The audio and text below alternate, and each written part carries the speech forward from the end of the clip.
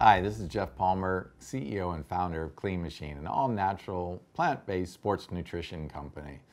We're very proud to introduce you to Ahiflower. Ahi Flour won the Nexty Award at Expo West in 2016 for Best New Ingredient of the Year. That's right, out of all the supplements launched, Ahiflower came through. Ahiflower was shown in a published human study to be 400% more effective at increasing omega-3 EPA than flax. That's right, four times better than the number one selling plant-based omega-3.